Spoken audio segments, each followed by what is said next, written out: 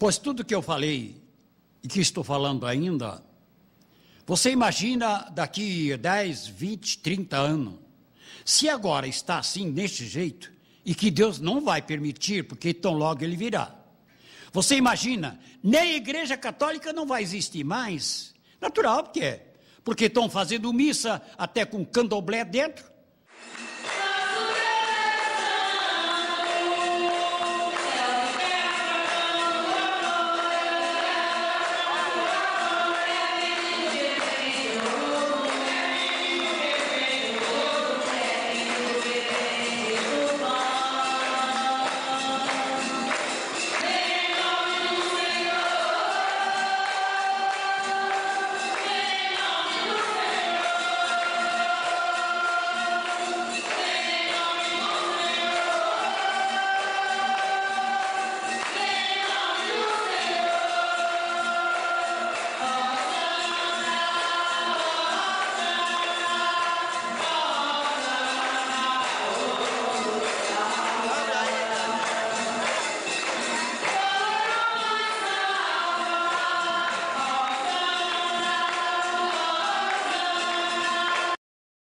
Estão fazendo coisa que nunca deveria fazer. Ô oh, gente, perca de fé é isto aí. Não se honra mais a Deus, o nosso Pai, o Criador de todas as coisas. Ele morreu por amor a nós. E agora você o que está fazendo? Você não está fazendo mais nada. Não se esqueça, tudo isso que está acontecendo dentro da igreja é obra satânica, porque ele pediu para Jesus. Ele pediu, ele não faz nada sem pedir. Ele pediu para Jesus: deixa eu entrar na igreja, fazer o que eu quero. Jesus permitiu para cumprir a sagrada escritura. Jesus permitiu. E agora ele está fazendo o que ele queria. Não deixar mais ninguém dobrar o joelho para Jesus. Não deixar mais dobrar o joelho para Jesus. Por quê? que os senhores estão dizendo isso? Porque quando chegar o momento vão ter que dobrar o joelho para o diabo. É, assim como ele fez, dobrar o joelho para mim, Jesus. Eu te darei todo este reino. Agora ele vai fazer com vocês também, que estão deixando de dobrar o joelho para Jesus, senhores padres, senhor bispo, os senhores estão mandando, o senhor será muito mais culpado. Onde deveria ter o máximo de respeito, chegar na frente do Santíssimo, todos dobrar o joelho, porque assim está escrito: tanto no céu como na terra, como no inferno, todos irão dobrar o joelho para Jesus. E vocês estão obedecendo a voz do diabo. Sim, natural, porque ele quer isso. E quando chegar na hora, vocês todos vão dobrar o joelho para ele. E feliz daqueles que mantêm o máximo de respeito para com Jesus, todos os ah, conservadores.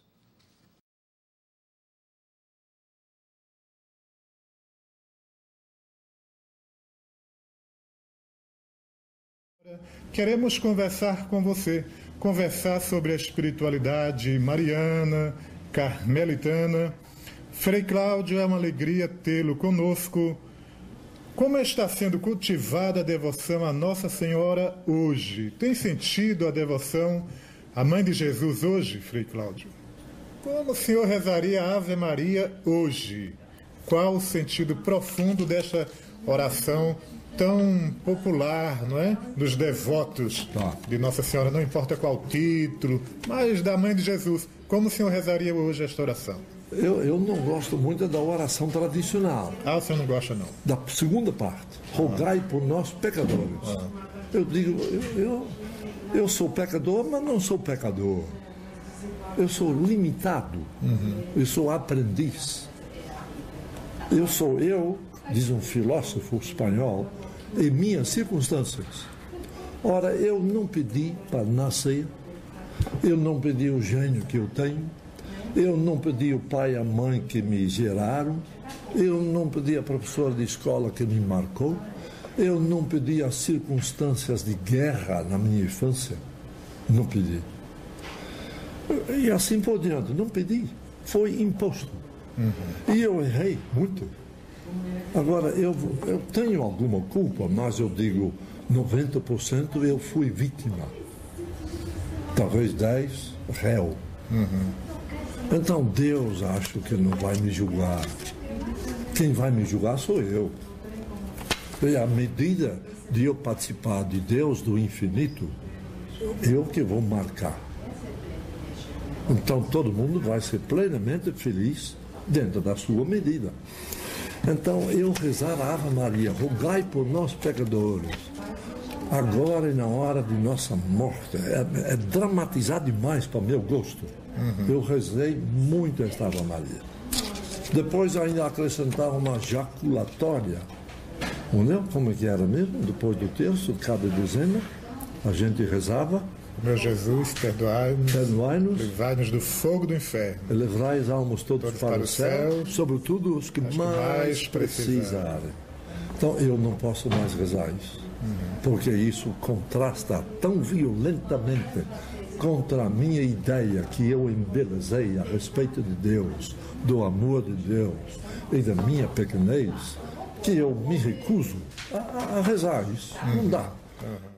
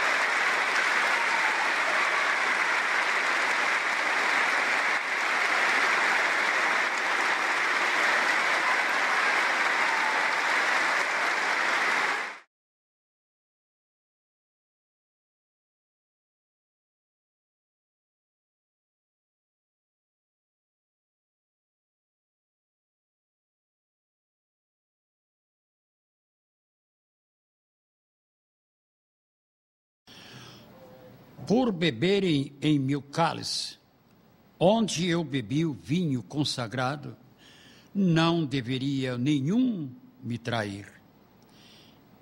E por comerem do pão abençoado por mim, deveria honrar-me e não fazer como vem fazendo. Pela negligência do mais intruso, que é o meu adversário, põe na cabeça das, de muito deles, dos que vêm me servindo, dizendo que as mãos, aliás, dizendo que não é preciso tanta cerimônia, basta colocar água nas pontas dos dedos antes da consagração, isto basta. Olha, pelo que eu vejo e sinto na hora que recebo as santas mensagens, por beber em meu cálice, onde eu bebi o vinho consagrado, não deveria nenhum me trair. E quem foi dos doze que extraíram? Foi só Judas. Mas agora, pela mensagem que a gente recebe, agora é o contrário. Não é um só. Agora é onze traindo e um só. Um só. Honrando a Jesus. Ah, você, você imagina, você, você que tá, está me vendo essa hora. Eu pergunto, meu amigo, escuta aqui. O senhor que tem a idade mais ou menos, mais do que eu, o senhor se lembra dos anos 40, 50, 60? O que é que acontecia alguma coisa tão triste com a natureza como está acontecendo? Não, não se via quase nada disso que nós estamos passando. Por que, que nós temos agora pagando caro por isso? O senhor que foi presidente, ninguém tirou o seu cargo. O senhor que foi governador, ninguém tirou o seu cargo. A, a, o senhor que foi prefeito, ninguém tirou o seu cargo. E por que os senhores eclesiásticos, os senhores bispos, padre, tiveram que tirar o sacrário do centro? Para quê? Qual foi a vantagem? O senhor gostaria, seu bispo, tirar o senhor do seu lugar e rebaixar o seu salário? É isso aí, gente. A natureza sofre com isso. Por quê? O centro da igreja deveria ser sempre o Santíssimo Sacramento. Quando entra na igreja qualquer um, o que, que ele vai? Ele dire, vai direto ao sacrário. Para quê? Para adorar a Jesus sacramentado. E agora, onde vai se adorar? Lá atrás, na sacristia, ou do lado da igreja? O senhor não gostaria, seu bispo, tirar o senhor do seu cargo, do seu lugar e botar o senhor lá para trás?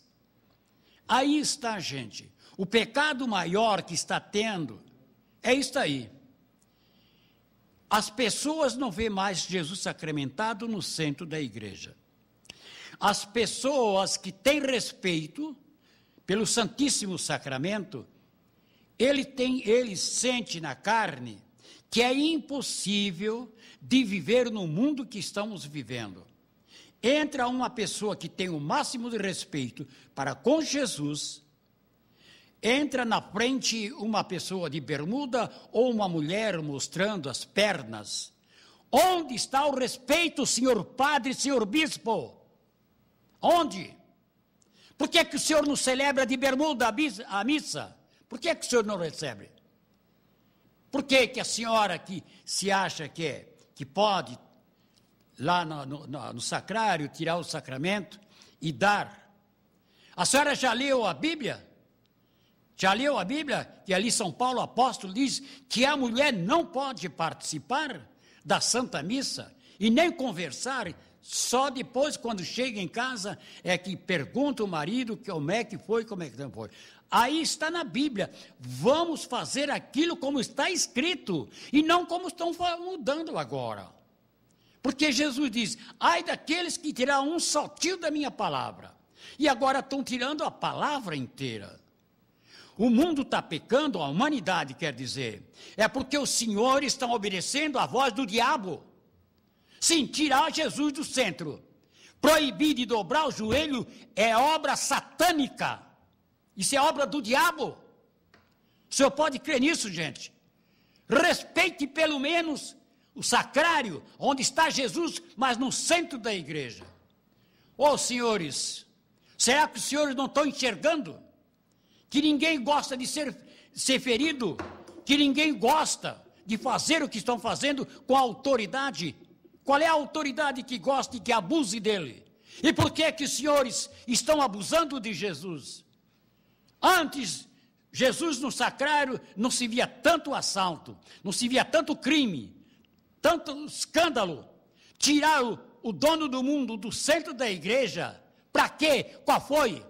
Mudar o Pai Nosso. Os senhores tiram a batina, os senhores vão para a televisão para cantar, para estar tá no meio da mídia para ganhar o quê? Dinheiro. Os senhores não estão satisfeitos pelo pouco que ganham. A maior santidade, os santos que chegaram no céu foi pelo sacrifício que eles tiveram. E os senhores não querem mais sacrifício. O Senhor deixa entrar como quiser. Onde está o zelo pela minha casa, diz Jesus. Antes que eu venha, o filho do homem vai ter que ser rejeitado novamente. E o povo não enxerga isso aí. Tira o Jesus do centro da igreja. Aí que está para cumprir o que ele disse. Antes que venha o filho de Deus, o filho de Deus tem que ser rejeitado novamente e vocês estão fazendo aquilo que o diabo quer. Para pegar a santa hóstia na mão e as partículas caírem no chão. E vocês pisam em cima como pisaram no sangue de Jesus. É isso o fim dos tempos, gente. Não é o fim do mundo. É o fim dos tempos por falta de respeito. Principalmente os senhores padre e senhor bispo. Mas está escrito a quem tanto eu confiei, eu vou exigir. E vocês vão pagar muito mais caro. E ai das pessoas que estão concordando, ai das pessoas, porque todos irão pagar pelo que estão fazendo com Jesus. Estão pensando que Jesus é qualquer um comum, mas o sofrimento deles cairá nas costas de todos que estão fazendo isso, tirando Jesus do centro da igreja.